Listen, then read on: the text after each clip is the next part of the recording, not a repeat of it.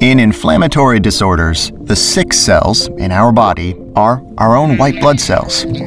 Only instead of defending the body, they attack it. The best way to fight the complexity of human diseases is to deliver the therapeutic payload directly to the sick cells. A promising technology for combating diseases uses special lipid nanoparticles. These nanoparticles contain RNA molecules that can change the way cells produce proteins and can modulate cells' function. The nanoparticles are supposed to deliver the RNA directly to the sick cells.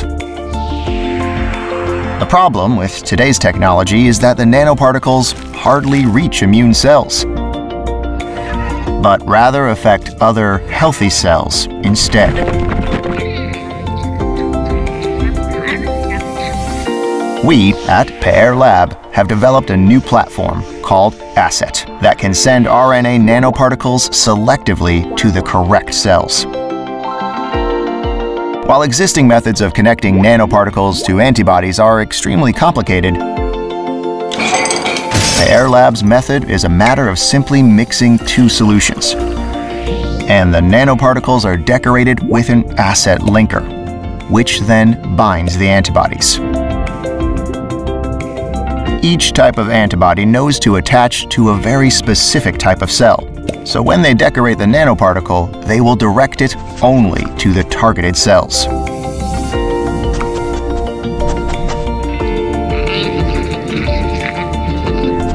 This method means releasing the RNA right where we want it, affecting only the right cells and saving the body from harmful side effects.